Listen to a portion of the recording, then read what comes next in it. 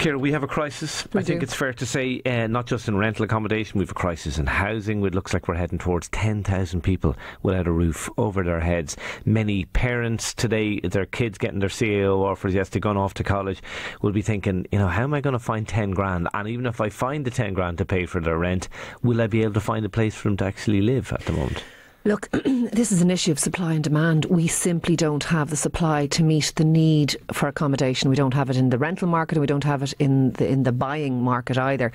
And it is a difficult one to fix. And I know, you know, you can say the housing minister should do this and the housing minister should do that, but the housing minister trying to fix the housing market is a little bit like the minister for employment trying to provide employment. Its jobs are provided by private companies largely, apart from the semi-state, and it's the same thing. It isn't. The, it isn't the government who are going to be, you know, supplying the vast majority of accommodation no, but either. They, they can create the conditions. And my problem with this. But that's all they can do, Shane. They can, they can Yeah, incentivise but they can do a lot. carrots and sticks. They can do a lot. And my problem with this government and the government that's been there since 2011, firstly, they were way, way, way too slow to react to this. This has been coming for a number of years. They took their eye off the ball.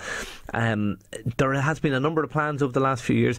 The difficulty is we've had as many housing ministers as we've had plans. We've had three different ministers I don't in think the the past 18 solution for this is going to be in politics, to be honest. Ah, sorry, Ciara. The solution, of course, is in politics. No. It has to be in politics. No, no, no. And you just let, just let me make the point. You have to have a minister that knows what he's doing. We've had three different ministers in 18 months. Each of them are coming in as basically property virgins. They don't understand the market. They then have to But learn you've the just market. named it there. The market is what is going to have to Yeah, sort but- this out. And I'm not saying that it's some kind of mad capitalist, but it isn't that government isn't going to be able. The government should be building social housing. That, But that, sorry, that, the market isn't doing it, Ciara. We have huge Some tracts of of why land. the market isn't doing it is because the market has been skewed. For example, when I was a student, we lived, I, and I lived myself, I lived in a bedsit for a period of time and I lived in a house share for a period of time. That's what students did. We brought in a, a rake of standards that took out of the market cheap accommodation because we had an idea that we were going to provide fancy accommodation for all and now we can't provide accommodation Okay. to people on unlimited means. The answer, we have to allow the answer to our housing crisis is not to go back to the slums of the 1980s. I didn't live in a slum, Shane. I lived in a house did. share. I lived in a few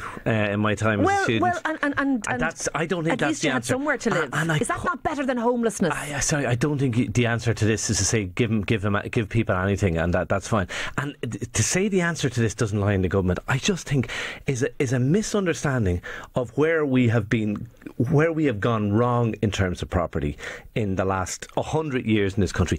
We have to change our traditional attitudes to property.